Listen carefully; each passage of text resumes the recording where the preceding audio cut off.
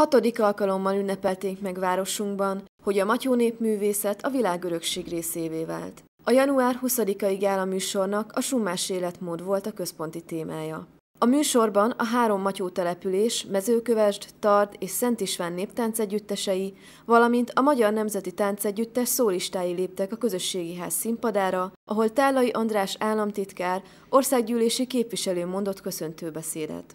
Elsőként Korály Zoltán szavait idézte, addig él egy nép, míg hagyományait nem dobja el, sőt megváltozott körülmények között újra használja őket. A matyó tradíciók megőrzésére hívta fel a figyelmet.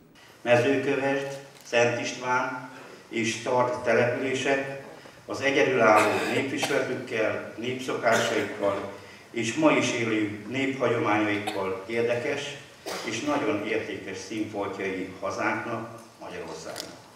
Meggyőződésem, hogy minden a mai naphoz hasonló rendezvény elősegíti a magyar nép szellemi, tárgyi hagyatékának ápolását és megőrzését. Csak az a nemzet és az a közösség remélhet valamit az élettől, amely hagyományait megbecsüli, és hívő kegyelettel adja tovább.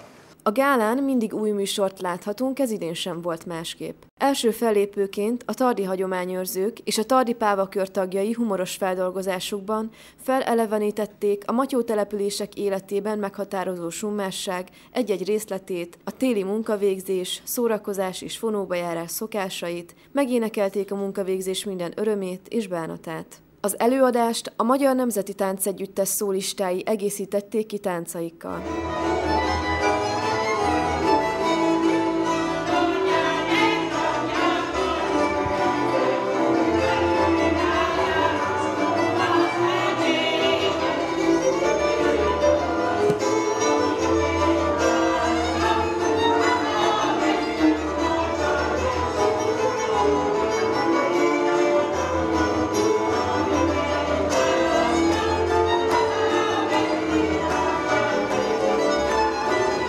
Ezt követően a témát a Szent Istvániak feldolgozásában láthattuk a színpadon.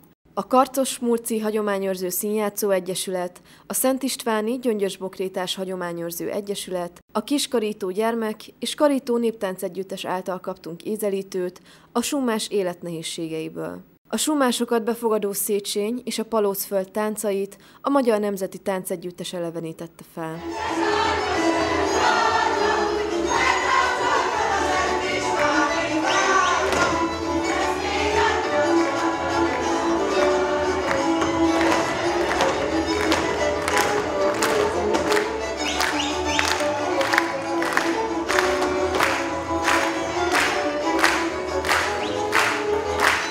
Az est záró produkciójaként a mezőkövesdiek több mint száz fős csapata vonult káprázatos népviseletben a színpadra, a Rozmarin Tánc Együttes, a Művészeti Iskola néptánc tagozatosai, a Matyó Népművészeti Egyesület néptánc szakkörei, a mezőkövesdi pávakör, a Matyó Népi Együttes, a Száz Rózsás Néptánc Együttes és a Matyó Néptánc Együttes. A csoportok tagjai a summás élet vidám, játékos elemeit idézték elénk, melyben a Magyar Nemzeti Tánc Együttes kamara csoportja Somogyi Kanász és Eleki táncokkal vett részt.